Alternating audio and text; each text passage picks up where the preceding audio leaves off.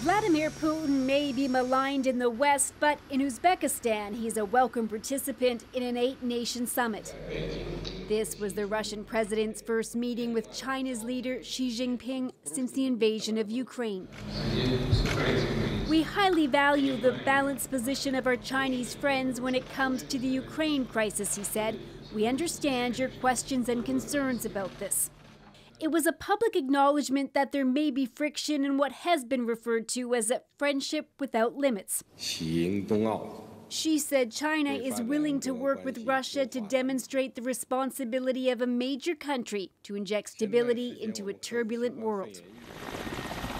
Russia's war in Ukraine has made its relationship with China even more important because the invasion has left it increasingly isolated on the global stage. And domestically, there are fresh signs of some dissent. Vladimir Putin is uh, the main existential threat to Russia, my country I love.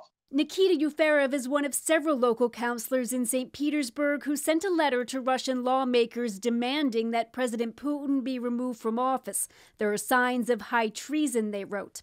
An incredibly risky move, seeing that an opposition politician in Moscow has recently been sentenced to seven years in prison for discrediting the military. But aren't you afraid of going to jail? We use only uh, words that um, Russian crime laws allowed us to call it, like special military operation.